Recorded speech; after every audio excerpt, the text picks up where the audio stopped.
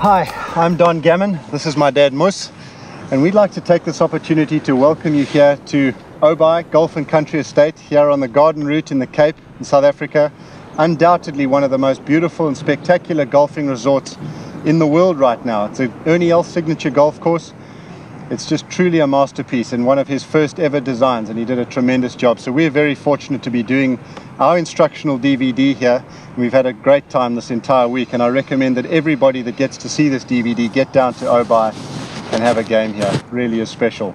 But uh, getting back to the DVD, this method that we teach and that and the methods that we hopefully are going to impart to, over to you over the next three or four hours during this DVD are methods that we've arrived at over what 35 years dad? 35 years we've been at it and uh, you know the golfers we've met we've both played a relatively high standard of golf on the tours throughout the world. And again as donald has stressed we're not this is not a, a Muss or don gammon theory.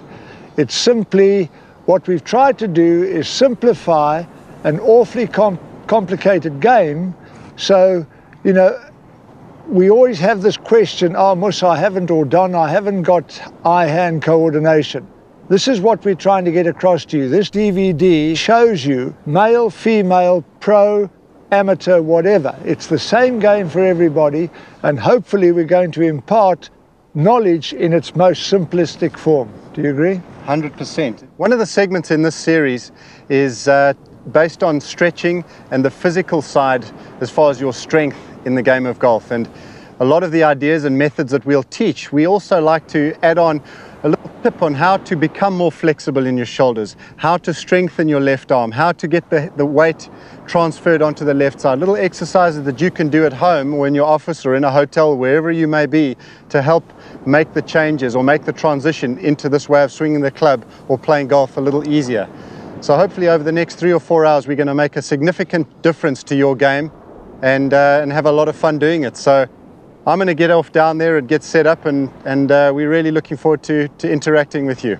I'd just like in closing to just make the point that no point we have made on this DVD is padding.